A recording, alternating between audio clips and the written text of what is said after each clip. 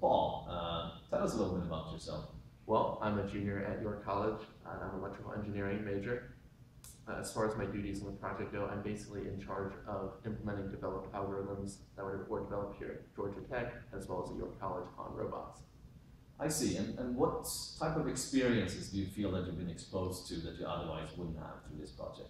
I think that a lot of undergraduates are very used to solving closed problems in textbooks, and I think that this opportunity has really given me a chance to test my ability with working on open-ended problems, and I think that's given me a lot of really valuable experience I wouldn't have otherwise earned. Excellent. Matt, uh, same question for you. So what I've been exposed to is the educational side of things, which is often neglected in graduate studies because the emphasis is put on research. And so I've had the opportunity to see the other side of academia, which is the educational component and how that comes together.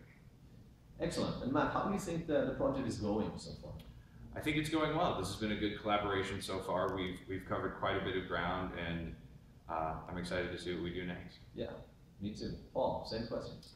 I think it's been going very well so far. I know that I've learned a lot and I've had a chance, I think, to really do some things that I never thought I would, like coming down to Georgia Tech. At the end of this grant, we hope to develop the beginnings of a, an educational testbed for cyber-physical systems, where we have mobile robots, an instrumented building with a sensor network, all interacting together, and having to manage power constraints. We want to use this testbed for, uh, for educational purposes so that undergraduates can learn about concepts in cyber-physical systems so then when they want to move on to graduate school, they're better prepared for what are the challenges, where are the gaps, and what has been figured out in cyber-physical systems. We look forward to continuing this work.